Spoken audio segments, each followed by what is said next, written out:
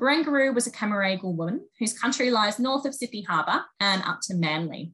So she was more than likely present at this meeting of white settlers and Aboriginal people at Manly in 1788, shown in the image drawn by William Bradley.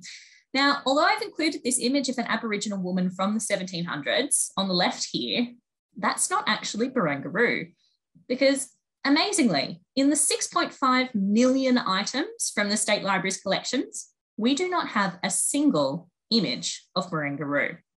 So I want you to tell me in the Q&A chat, why is this?